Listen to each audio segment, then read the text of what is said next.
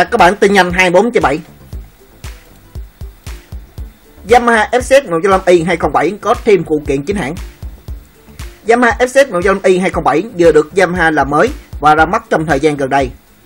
Mẫu xe này thuộc dòng Nickelback ở hạng 105cc của nhà Yamaha, áp dụng công nghệ VVA Slipperless hoàn toàn mới có thể đạt được công suất cao nhờ khối động cơ này. Nay Yamaha tiếp tục tung ra thêm gói phụ kiện chính hãng vô cùng là phong phú. Mẫu xe FZ 100i 207 thuộc dòng FZ 100i trước đó nhưng được Yamaha ưu ái cải tiến vượt bậc so với TFX 150 và cũng được Yamaha ra mắt trong khoảng thời gian gần đây. Nhất là khối động cơ có công suất lẫn công nghệ cao rất nhiều so với hệ trước đó. Khối động cơ xanh đơn với dung tích 105cc, 4 thì 4 van, phun xe điện tử FI làm mát động dịch SOC, áp dụng công nghệ qua miếng thiên VVA, con tay học số sơ cấp, áp dụng công nghệ Strip Plus công suất cực đại 19,3 HP, A cộng 10.000 RPM.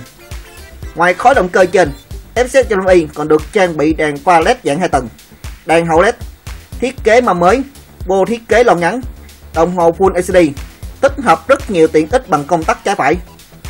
Và còn nhiều hơn nữa là gói phụ kiện chính hãng kèm theo.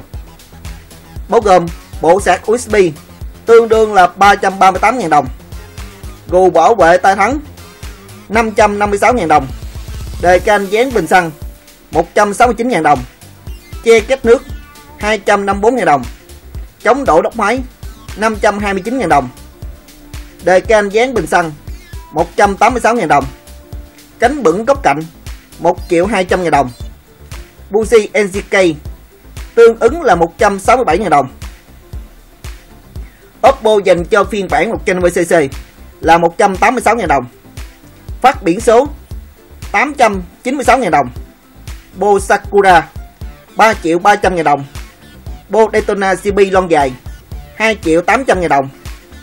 Bo Daytona CB lon ngắn 2 triệu 500 ngàn đồng. Và còn nhiều option hơn nữa. Và đây là chỉ là giá tham khảo tại các đại lý. Cảm ơn các bạn theo dõi clip này. Hẹn gặp lại kế tiếp. Nhớ like, share, nhớ subscribe.